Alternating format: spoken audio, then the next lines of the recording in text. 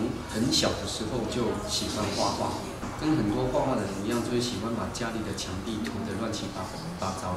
那妈妈其实不会干涉。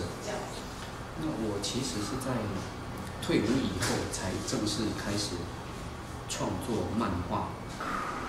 呃，那连载了连载了大概五六年，一直到台湾九二一大地震。大地震那时候我正在赶稿。我就躲到桌子底下，那后来起来的时候都停电了，然后就听广播，听广播才知道地震很大。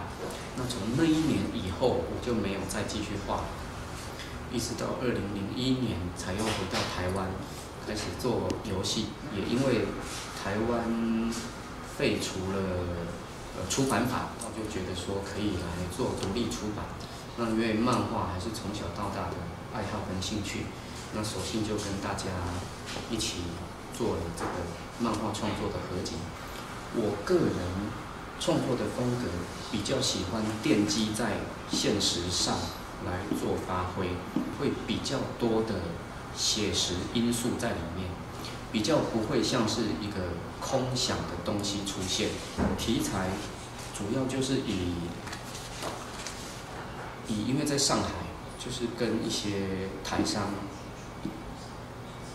都都一直在一起，台湾人大概都会聚集在一起，所以都是因为很常上夜店，所以就以夜店做了一个题材。那呃，国中的时候，因为最常跟同学在庙，我我们的根据地就是在庙，那同身边的同学都是那个鸡童，几乎所有人物都是以同学来做 model 来画。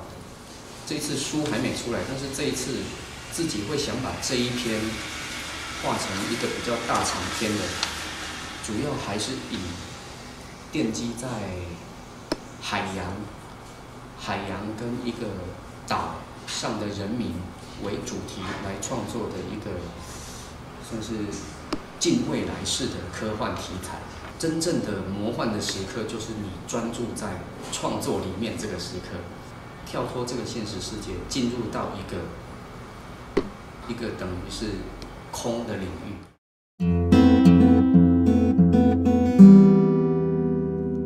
他说：“我相信我们有义务为彼此说故事，这是单纯的人与人之间的义务。